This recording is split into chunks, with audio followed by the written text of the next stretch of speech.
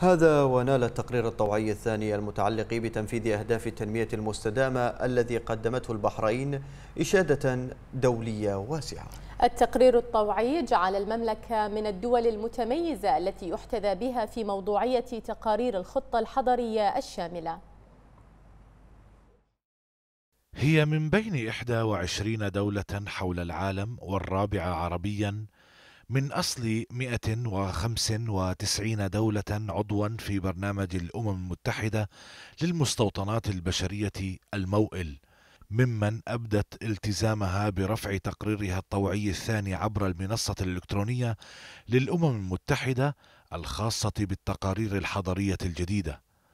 فبعنوان شامل التقدم المحرز في تنفيذ الخطة الحضرية الجديدة.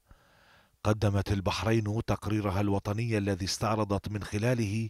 أثمن الجهود التي بذلتها في تنفيذ الخطة الحضرية التي تم إدراجها ضمن خطط وبرامج الحكومة من خلال رؤية واستراتيجية وطنية واضحة ومتكاملة استندت على توجيهات ودعم صاحب الجلالة عاهل البلاد المفدى حفظه الله ورعاه. وتبني تنفيذ تلك التوجيهات من قبل صاحب السمو الملكي ولي العهد رئيس مجلس الوزراء حفظه الله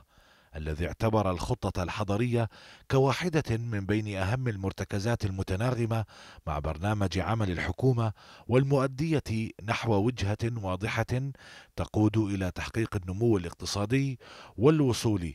إلى أهداف الرؤية الاقتصادية 2030 التقرير الطوعي الثاني جاء ضاما لعديد الإشارات التي برهنت من خلالها البحرين كفاءتها في أن تكون من بين الدول الرائدة الجادة والحريصة على إمضاء الأهداف الأممية للتنمية المستدامة والتي تشدد على حتمية الاستثمار في الإنسان عبر تطوير التعليم والخدمات الصحية والإسكانية وغيرها من المجالات الهامة التي كان لكوادر فريق البحرين الدور البارز في تنفيذ مشاريع تنموية وتطويرية كبرى عززت من مكانة البحرين على المستويات كافة. ممن برعوا في التغلب على التحديات التي جاءت بها تداعيات جائحة كورونا ليشكل لهم ذلك دافعا لإطلاق طاقاتهم وإمكاناتهم الدؤوبة لتسطير أبهى صور الإنجازات العديدة التي رفعت اسم البحرين عاليا.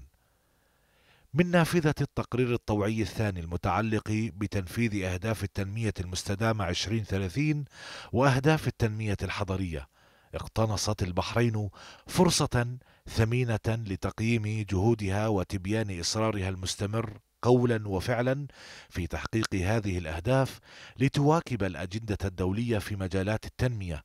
لما لها من انعكاسات إيجابية على المستوى المحلي وعلى المواطنين بشكل خاص عبر التفكير خارج نطاق الصندوق في طريقة البناء والإدارة والعيش في مدن عصرية متكاملة الخدمات تلامسها الحداثة من كل جانب.